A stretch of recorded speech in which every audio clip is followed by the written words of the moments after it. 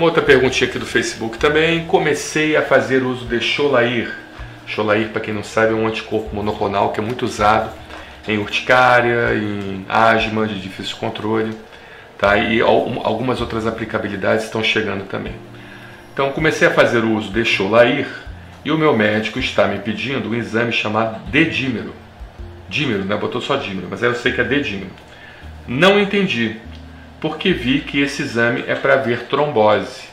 Não, realmente, é um exame que você, você vê a, a possibilidade de uma trombose em atividade, tá? É, a, bem na verdade, a aplicabilidade mais usada para esse exame é ver uma trombose.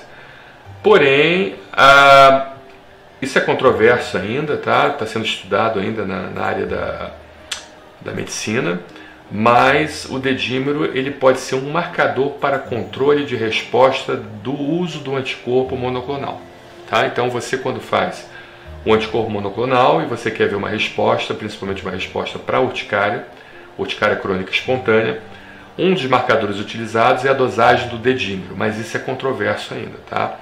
Tem estudos que mostram que existe uma possibilidade de realmente ele poder é, mostrar ao médico se está, está havendo uma resposta, e já tem outros que, estudos que mostram que não, não existe essa possibilidade.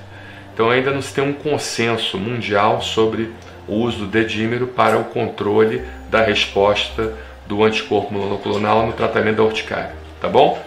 Então é só para vocês ficarem é, atentos e lembrar que sempre eu, quando eu falo, a medicina é a ciência das verdades transitórias. Então não é porque hoje a gente acredita numa coisa que amanhã a gente vai continuar acreditando e vice-versa. Tá? Recentemente eu mesmo comento muito sobre o uso dos lactobacilos. Há 20 anos quando você usava lactobacilo, você dizia que usava lactobacilo para tratar dermatite atópica, você era considerado praticamente um charlatão, tá? Outros colegas ouviam isso e diziam que isso não tinha, é, não tinha nenhum tipo de efeito no corpo. E hoje a gente sabe, já tem vários estudos publicados, randomizados, duplos cegos, e com vários tipos de qualificações, que mostra que o uso do lactobacillus, sim, ele melhora o quadro de dermatite atópica, tá? Então, você, você vê que os colegas que falavam isso no passado eram considerados charlatões e estavam à frente, é, à frente do, dos colegas de hoje, né? Tá bom? Então, é algo que a gente vai observar, pode ser que realmente é, a aplicabilidade desse exame se confirme no futuro, vamos aguardar.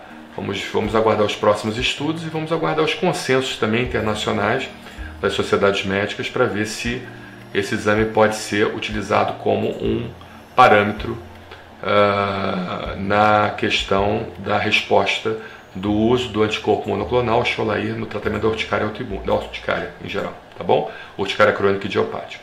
Um abraço, obrigado aí pela sua pergunta, muito boa, excelente. Estou falando que as perguntas estão difíceis hoje, hein? vamos lá.